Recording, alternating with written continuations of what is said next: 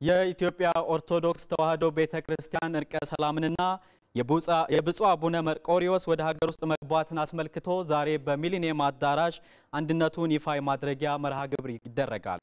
በመርሃ ግብሩ ውስጥ ከ25 ሺህ የሚገመቱ ሰዎች ይታደማሉ ተብሎ የሚጠበቅ ሲሆን የሃይማኖት መሪዎች፣ ከፍተኛ የመንግስት የስራ ኃላፊዎችና የሃይማኖቱ ተከታዮችም ይገኛሉ ተብሎ ይጠበቃል። መርሃ ግብሩ ከጥቂት ደቂቃዎች በኋላ በሚሊኒየም አዳራሽ ይጀመራል ተብሎ ነው የሚጠበቀው። በዚህ ጉዳይ ላይ ተጨማሪ መረጃዎች ሊያደርሰን ባልደረባዬ ኢዮብ ሞገስ እዚህ ስቱዲዮ ደርሷል። ኢዮብ እንደምን ዋልክ? እንደምን ዋልክ ደምስ።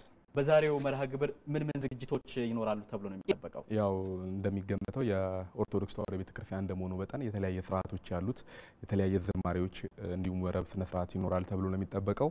ከዚህም በተጨማሪም አባቶች፣ የሃይማኖቱ አባቶች እና ሌሎች የመንግስት የስራ ኃላፊዎች በዚህ መርሃ ግብር ላይ ንግግር ያደርጋሉ።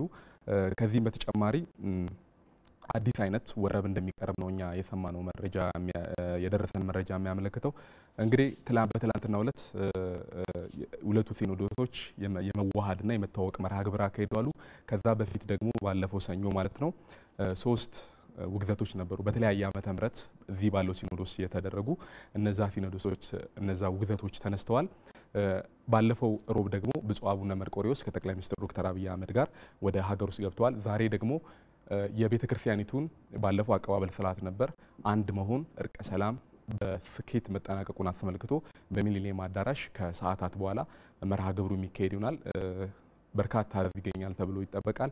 ከፍተኛ የመንግስት የስራ ኃላፊዎች እንዲሁም ደግሞ የሃይማኖቱ ተከታዮችና የሃይማኖቱ መሪዎች ተገኝተው ቡራኬ እንዲሁም መዝሙሮች፣ ወረብ ይቀርባል ተብሎ ነው የሚጠበቀው። ደምስ ኢዮብ እንግዲህ እንደሚታወቀው ያው የመለያየት ዓመታትን የቆየ መለያየት በቤተ ክርስቲያኗ ውስጥ እንደነበር ይታወቃል። አሁን ይሄን ቀይሮ ወደ አዲስ ምዕራፍ ያሸጋግራል የተባለለት ነው። እንግዲህ በዛሬው ዕለትም የአንድነቱ ይፋ የሚደረግበት መድረክ ነው እና ዋና ዋና ጉዳዮቹ የሚነሱት ምንድን ናቸው ማለት ነው? ያው በዋናነት ቀደም ሲልም እንዳነሳ ነው ለ26 ዓመታት ቤተክርስቲያኒቱ ትልቅ ቤተክርስቲያን ነች። በተደጋጋሚ ሲጠቀስ እንደነበረው በሁለት ሲኖዶስ ስትተዳደር የነበረች ለሁለት የተከፈለ ሁኔታ ነበረ።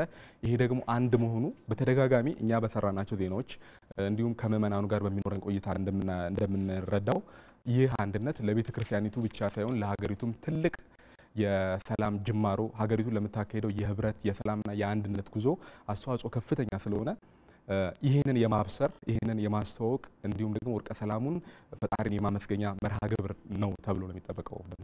ኢዮብ እንግዲህ ሁነቱን ተከታትለ ተጨማሪ መረጃዎች እንደምታደርሰን ተስፋ አደርጋለሁ። ለአሁኑ ግን በጣም ነው የማመሰግነው። እኔም አመሰግናለሁ።